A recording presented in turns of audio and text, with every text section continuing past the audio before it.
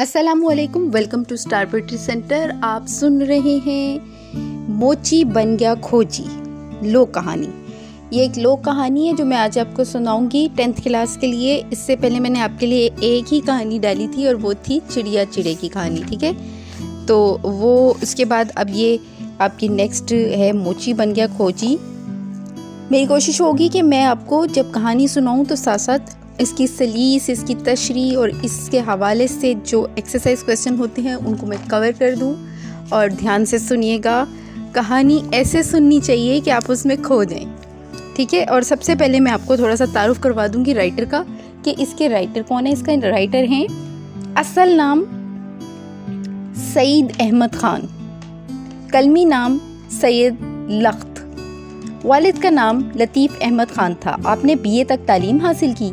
सैयद लुक्त का नाम बच्चों के अदब में किसी तारुफ का तारुफ का मोहताज नहीं। उन्होंने बच्चों के लिए सैकड़ों कहानियाँ और दर्जनों किताबें तख्लीक की। इनकी मुलाजमत का ज़्यादातर हिस्सा भी फेरोज सन्स लिमिटेड जैसे नशरोशात के इदारे में गुजरा। जहाँ बैठकर आप दीगर दफ्तरी उमूर के साथ साथ बच्चों के लिए मीरी अदब भी तख्लीक करते रहे। रिसाला तालीम तरबियत के एडिटर रहे हैं। तालीम तरबियत ज़रूर पढ़ा करें। मैं आज तक तालीम तरबियत पढ़ती हूँ। सैयद लोग की कहानियों की सबसे बड़ी खूबी है कि उनमें ज़ुबान बयान की, शुस्तगी और शगुफ्तगी के साथ साथ नई नस्ल के लिए कोई सबक भी छुपा होता है। वो एक तरफ़ तो अपनी कहानियों में मकसदियत को मद्देनज़र रखते हैं तो दूसरी तरफ़ इन कहानियों के ज़रिए मुस्तबिल के मेमारों की तलीम और तरबियत करने में भी खास सरगर्म दिखाई देते हैं। देखते की कहानियाँ। हाफिज़ जी, उल्लू के घोंसले में वगैरह इनकी मकबूल कहानियाँ हैं। मकबूल किताबें हैं, सॉरी। ये तो था राइटर का तारुफ और अब हम कहानी शुरू करते हैं शहर बगदाद के मोहल्ले जिलान में एक मोची रहता था। नाम था हारिस बिन वारिस। बहुत साबिर और शाकिर आदमी था, लेकिन इसकी बीवी सिद्रा बहुत बेसब्री और नाशुक्री थी। हर वक्त अपने शोहर को ताने देती रहती कि तुम निकम्मे हो, काहिल हो, इतने थोड़े पैसे कमाते हो, बहुत मुश्किल से गुजारा होता है। ये पेशा छोड़कर कोई दूसरा पेशा अपनाओ तो कुछ तो पैसे मिले। एक दिन सिद्रा ने बहुत चकचक की तो हारिस बोला, तुम ही बताओ मैं क्या करूँ? ऐसा करो, नजूमी बन जाओ, सिद्रा बोली। कल मैं बाज़ार गई तो वहाँ मुझे हातिम नजूमी की बीवी मिल गई। ईमान से क्या ठाठ थे उसके? मैं तो हैरान रह गई। आगे पीछे दो दो नौकर थे उसके। कपड़े ऐसे पहने थे कि मैंने कभी ख्वाब में भी नहीं देखे होंगे। उसने एक दुकान से पाँच हज़ार का कालीन खरीदा। हमें तो पाँच रुपए की दरी भी नहीं नसीब होती। देखो हारिस, मेरी मानो तुम भी नजूमी बन जाओ, और नेक बख्त हारिस बोला मुझे तो इल्म नजूम के अलिफ वे का भी नहीं पता। मैं नजूमी कैसे बन सकता हूँ? जब वो हातिम का बच्चा नजूमी बन सकता है तो तुम क्यों नहीं बन सकते? सिद्धा तनक कर बोली, बस मैंने कह दिया, कल से तुम मोची नहीं, नजूमी होगे। हारिस ने बीवी को समझाने की बहुत कोशिश की, लेकिन वो अपनी ज़िद की पक्की थी, किसी भी तरह न मानी। आखिर मियाँ को बीवी के सामने हथियार डालना पड़े। दूसरे दिन सुबह को हारिस ने चोगा पहना, कमर में पटका बांधा, सर पर अमामा, यानी साफा रखा, और बाज़ार जाकर एक बंद दुकान के थड़े पर बैठ गया। आइए साहिबान, आइए। गैब का हालूम हाल मालूम कीजिए। आपके सितारों की चाल बदल कर आपकी हर मुश्किल आसान कर सकता हूँ? आइए आइए, मत शर्माइए, मत घबराइए, बहुत पहुँचा हुआ नजूमी हूँ। आन की आन में उनके उसके गिर्द लोगों का मजमा लग गया। उस मजमे में बगदाद का एक मशहूर जोहरी भी था। वो लोगों की भीड़ को चीरता फाड़ता हारिस के पास आया और बोला, या शेख, मैं एक जोहरी हूँ। बादशाह सलामत ने मुझे अपना ताज पॉलिश करने के लिए दिया था। उसका एक हीरा गायब हो गया है। अब अगर वो हीरा ना मिला तो मैं बेमौत मारा जाऊँगा। हम्म। हारिस आसमान की तरफ़ देख कर बोला, तुम्हारा सितारा गर्दिश में है। उसे गर्दिश से निकालने में एक घंटा लगेगा। अब तुम जाओ, एक घंटे बाद आना। कहने को तो उसने ये कह दिया, मगर दिल में घबरा रहा था कि हीरे के चोर का पता कैसे चलाऊं। मेरे तो फरिश्तों को भी नहीं मालूम कि चोर है कौन और हीरा कहाँ है। उसने एक ठंडी सांस भरी और बोला, अरे सिद्रा, तूने अपने शोहर को किस मुसीबत में फंसा दिया? बिल्कुल सही बात है, इंसान को जो काम ना करना आता हो, अगर कोई इसको वो वाला काम करने के लिए कह दे तो शुरू शुरू में कोई भी ऐसा काम करते हुए इंसान बहुत तकलीफ़ देखता है। इतफाक की बात उस मजमे में जोहरी की बीवी भी मौजूद थी और उसका नाम भी सिद्रा ही था। हारिस कि ये बात सुनकर वो समझी कि इस नजूमी को मालूम हो गया है कि हीरा मैंने लिया है। यानी हारिस तो अपनी बीवी का नाम लेकर बोला था ना, लेकिन वो औरत समझी, ये मुझे कह रहे कि भाई मैंने चोरी करके, क्योंकि आगे पता लगेगा कहानी पढ़ने के बाद तो उसने कहा कि ये शायद मुझे मुखातिब, मुझसे मुखातिब है। वो थर थर कांपती हुई आगे बढ़ी, हारिस के चोगे का दामन पकड़कर बोली, चोगा गाउन को कहते हैं लंबे वाले।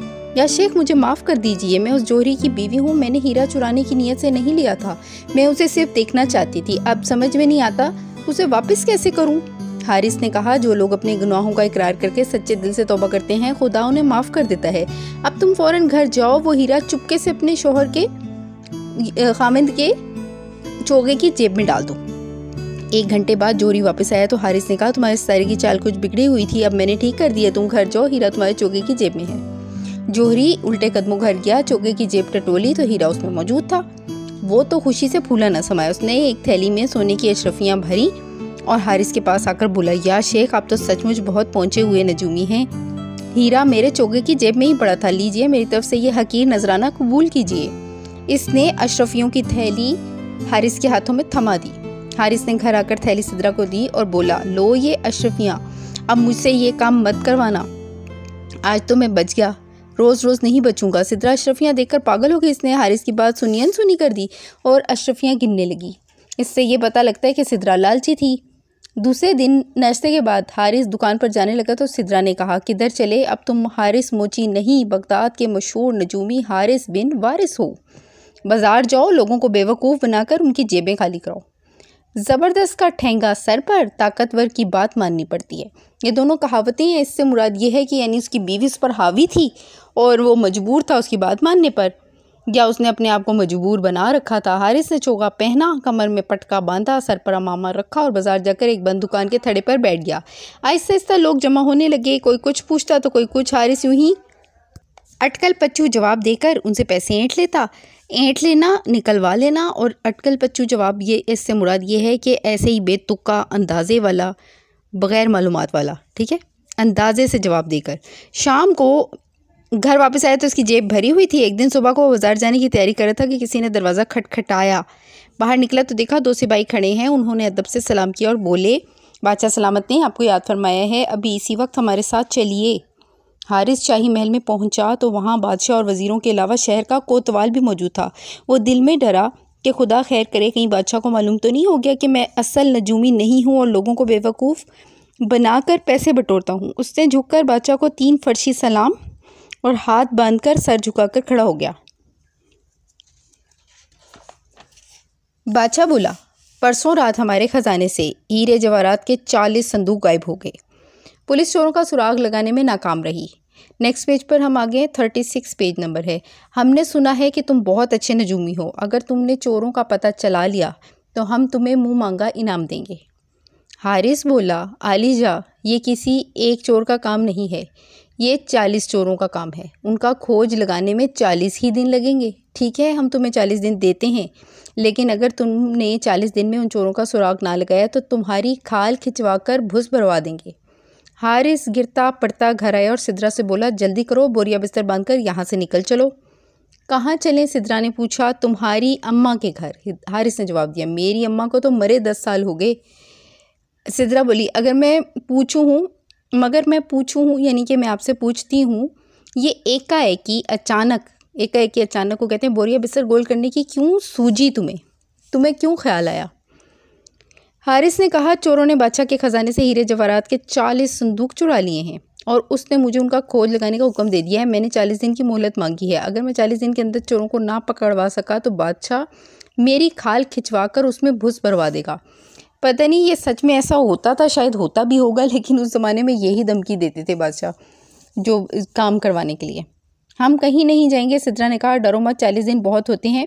हो सकता है चोर पकड़े जाएँ, हो सकता है बादशाह मरे। मर जाए। हारिस बोला, और अगर इन बातों में कोई बात ना हुई तो?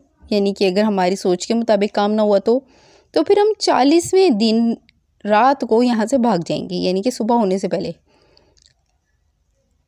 और इराक के शहर बसरा में मेरी ये खाला रहती है, वो हमें पना दे देंगी सिद्रा ने कहा, लेकिन हमें ये कैसे पता चलेगा कि कितने दिन गुजर गए हैं? हारिस ने कहा, ना मुझे लिखना आता है, ना तुम्हें। हम्म, सिद्रा सोच में पड़ गई। फिर बोली मैं रोज़ शाम को मर्तबान में एक कंकरी डाल दिया करूँगी। इसका मालूम होता रहेगा कि इतने दिन गुजर गए हैं। जिन चोरों ने शाही ख़जाने में चोरी की थी उनका एक साथी शाही महल की जासूसी करता था। उसने अपने सरदार को बताया कि बादशाह ने बगदाद के एक नजूमी को हमारा खोज लगाने पर मुकर्र कर दिया है। मुकर्र करना क्या होता है? किसी को ज़िम्मेदारी देना। ये शख्स नजूम का बहुत बड़ा आलिम था। इसने बादशाह को हमारी सही तादाद बता दी है और वादा किया कि चालीस दिन के अंदर वो हमें पकड़वा देगा। सरदार बोला, अरे बेवकूफ़ चोरों की तादाद तो एक बच्चा भी बता सकता है। ज़ाहिर है चालीस संदूक चालीस आदमी ही उठाएँगे ना? बस उसने बता दिया, ये चालीस चोरों का काम है, लेकिन ये नजूमी बहुत चालाक मालूम होता है। हमें इसकी निगरानी करनी होगी। तुम आज शाम इसके घर जाना और मालूम करना कि वो क्या चाहता है। उस शाम वो चोर हारिस के घर पहुँचा तो उसे घर में से बातों की आवाज़ आई। वो कान लगाकर सुनने लगा। उसी वक्त सिद्रा ने मर्तबान में एक कंकरी डाली और हारिस ज़ोर से बोला, चालीस में से एक गया। ये सुनकर चोर की तो सिट्टी गुम हो गई। भागा भागा, अपने अड्डे पर गया और सरदार से बोला, सचमुच वो बहुत पहुँचा हुआ नजूमी है। जूँ ही मैंने उसकी खिड़की पर कान लगाया, उसने कहा, चालीस में से एक गया। सरदार ने कनखियों से अपने साथी को देखा। यानी घूरते हुए सरदार बोला, तुमने गलत सुना होगा, कल दो आदमी जाएँ और नजूमी की खिड़की से कान लगाकर उसकी बातें सुने। दूसरे दिन शाम को दोनों चोर छुपते छुपाते हारिस के घर पहुँचे और खिड़की से कान लगाकर खड़े हो गए। उसी वक्त सिद्रा ने दूसरी कनकरी मर्तबान में डाली और हारिस ज़ोर से बोला, दो, अब अड़तीस रह गए। दोनों चोर सर पर पाँव रखकर भाग खड़े हुए। उन्होंने सरदार को बताया, ये नजूमी वाकई गैप का इलम जानता है। हम उसकी खिड़की के पास पहुँचे तो उसे मालूम हो गया कि हम दो हैं। सरदार ने गुस्से से पैर पटके और चिल्लाकर बोला, तुम दोनों भी बुद्धू हो। कल तीन बुद्धू कहते हैं बेवकूफ़ को। कल तीन आदमी जाएँ और कान खोलकर सुने ध्यान से। तीसरे दिन तीन चोर गए। चौथे दिन चार, पाँचवें दिन पाँच, उनतालीस दिन तक ये सिलसिला चलता रहा। सिद्रा रोज़ शाम को मर्तबान में एक कंकरी डालती हारिस ज़ोर से कंकरियों की तादाद बताता और चोर समझते कि वो उनकी तादाद बता रहा है। वो डर कर भाग जाते। चालीसवें दिन शाम को सरदार अपने तमाम साथियों के साथ हारिस के घर पहुँचा और खिड़की से कान लगाकर खड़ा हो गया। उसी वक्त सिद्रा ने मर्तबान में आखिरी कंकरी डाली और हारिस ज़ोर से बोला, चालीस पूरे हो गए। सिद्रा, रस्सियाँ लाओ। हारिस ने रस्सियाँ सामान बांधने के लिए मंगाई थी। सिद्रा रस्सियाँ लाने के लिए उठना चाहती थी कि दरवाजे पर ज़ोर की दस्तक हुई। हारिस ने दरवाज़ा खोला तो इतने सारे लोगों को देखकर डर गया। वो समझा बादशाह ने उसे पकड़ने के लिए फ़ौज भेजी है। वो कुछ कहना चाहता था कि चोरों का सरदार उसके कदमों पर गिर पड़ा और गिड़गिड़ा कर बोला गिड़गिड़ा कर यानी आजी से। शाही खजाने में चोरी हमने की थी। बादशाह को ना बताएँ, वो हमारा अजन बच्चा कोल्हू में पिसवा पिलवा देगा। यानी कहने का मतलब है कि वो हमारा, हमें बहुत बुरे तरीके से मरवा देगा। बहुत बुरा हशर करेगा। हम आपका घर सोने चांदी से भर देंगे। हारिस गुस्से से बोला बेईमानो तुम्हारा ख्याल था तुम इस जुर्म का किसी को पता नहीं चलने दोगे? अरे, हमसे तो दुनिया का कोई भेद यानी कि राज छुपा हुआ नहीं है। अब तुम्हारी खैरियत इसी में है कि चोरी का सारा माल बादशाह को वापस कर दो। सरदार ने कहा, लेकिन हुजूर, हम बादशाह के पास जाएँगे तो वो हमें कैद खाने में डालेगा। हो सकता है हमारे सर कलम करवा दे। तो तुम ऐसा करो, हारिस बोला। सूरज निकलने से पहले पहले तमाम संदूक, बादशाह के महल की मशरकी दीवार के पास दफन कर दो। और वादा करो कि आइंदा कभी चोरी नहीं करोगे। मैं बादशाह को तुम्हारे बारे में कुछ नहीं बताऊँगा। हुजूर ने जैसा कहा, वैसा ही होगा। सरदार ने कहा और अपने साथियों को लेकर चला गया। दूसरे दिन सुबह को बादशाह के सिपाही हारिस के घर आए, उसे घोड़े पर बिठाकर शाही महल ले गए। बादशाह ने पूछा हमें उम्मीद है तुमने चोरों का खोज लगा लिया होगा और हमारा ख़जाना मिल गया होगा। आपका ख्याल दुरुस्त है अलीजा हारिस बोला, लेकिन हुजूर ये फरमाएँ कि हुजूर के नज़दीक दोनों में से अहम कौन सी चीज़ है? ख़जाना या चोर? मैं इनमें से सिर्फ़ एक चीज़ आपके हवाले कर सकता हूँ। दोनों चीज़ें देने से सितारों ने मना किया है। हमें ख़जाना चाहिए। चोरों से फिर कभी निमट लेंगे। यानी निमट लेंगे, यानी जान छुड़ा लेंगे या उनसे मामला कर लेंगे। बादशाह ने कहा तो फिर हुजूर मेरे साथ तशरीफ़ लाएँ, हारिस बोला। बादशाह वज़ीर और सिपाही हारिस के पीछे चल पड़े। इन्हें शाही महल की मशरकी दीवार के पास ले गया। सिपाहियों से कहा कि ज़मीन खोदें उन्होंने ज़मीन खोदी तो उसमें से चालीस संदूक निकल आए। बादशाह खुश होकर बोला, हारिस, तुम तो कमाल के आदमी हो। आज से हम तुम्हें शाही नजूमी मुकर करते हैं।